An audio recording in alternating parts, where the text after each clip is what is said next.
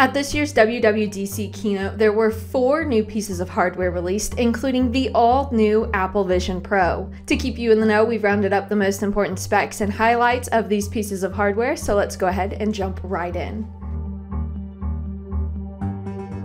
First up, Apple Vision Pro, Apple's first AR headset. It looks similar to a pair of ski goggles and will run on an all new platform called Vision OS via spatial computing, powered by an M2 and R1 chip. Together, the headset offers floating interfaces of familiar apps and services like Safari, Disney Plus, FaceTime, iMessage, and more.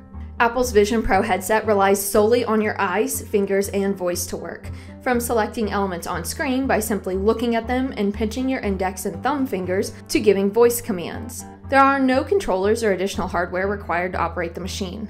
On its own, Apple says the Vision Pro will last around two hours before needing to recharge. To help, the headset's bundled with a pocketable charging pack that can be tethered to your body. Apple's Vision Pro headset will sell for a hefty $3,499, putting it well above competitors like the $1,000 Meta Quest Pro and HTC Vive XR Elite. Apple says the headset will be available early next year.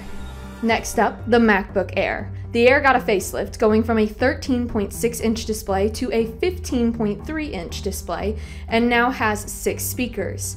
This new 15 inch MacBook Air rounds out the rest of Apple's MacBook lineup, which includes the standard Air and a 14 and 16 inch Pro model. The new Air touts an 18 hour battery life and M2 chipset, up to 24 gigs of RAM, and up to 2 terabytes of base storage, along with the usual MacBook fixins like Touch ID, a 1080p camera, and a liquid retina display. It's available in Starlight, Space Gray, Silver, and Midnight at a starting price of $1,299. That's 100 more than the retail price of last year's 13-inch variant, which will be dropped to an official price of $1,099. The Mac Studio is back and getting its biggest upgrade in the form of a new silicon processing unit, the M2 Ultra and M2 Max. Like its predecessor, the new Mac Studio features a miniature desktop form factor with polished aluminum surrounding all sides. But again, the main story here is that M2 Ultra chip.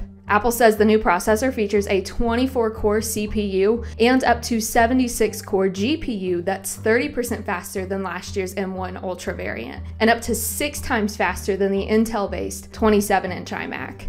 The M2 Ultra model is also capable of powering up to six Pro Display XDRs and supports Wi Fi 6E, Bluetooth 5.3, a higher bandwidth HDMI port, and up to six USB C ports, four of which are Thunderbolt 4. The Mac Studio is available for pre orders at a starting price of $1,999, and Apple says the model will start shipping next week. Finally, the Mac Pro gets the Apple Silicon treatment that it has deserved with the latest model featuring the company's most competent chip, the M2 Ultra. Apple's also integrated more versatility with the new Mac Pro, giving users eight Thunderbolt ports on the back, twice as many as what was on its predecessor, and PCIe expansion, six of which support Gen 4, for when you want to customize the I.O. cards, network accessories, and storage.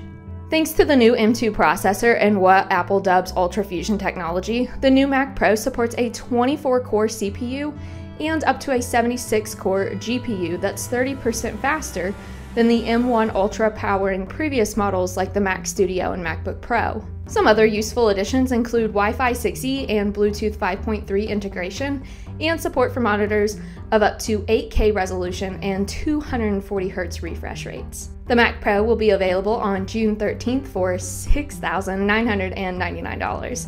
And Apple will offer the desktop with an optional rack mount for horizontal orientation.